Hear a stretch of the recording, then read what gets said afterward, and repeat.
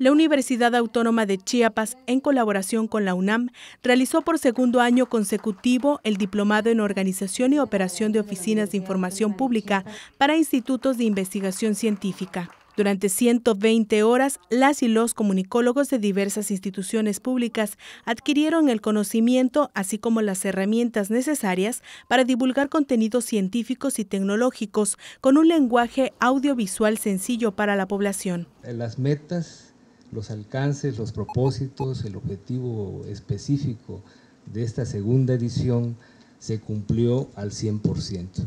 Fue uno de los compromisos que se comentaron aquí en esta sala audiovisual, de que los estudiantes eh, no únicamente fuera un diplomado más de presencial, sino que llegaran a productos tangibles. Entonces estamos atestiguando eh, que así fue. Esta especialidad en periodismo científico tuvo una duración de tres meses con carácter semipresencial y contó con la participación de expertos en la materia de talla nacional e internacional. A la clausura acudió la directora del Sistema Chiapaneco de Radio, Televisión y Cinematografía, Susana Solís Esquinca, quien fue testigo de la participación del talento de este medio público para la creación de piezas informativas científicas y tecnológicas de mayor calidad.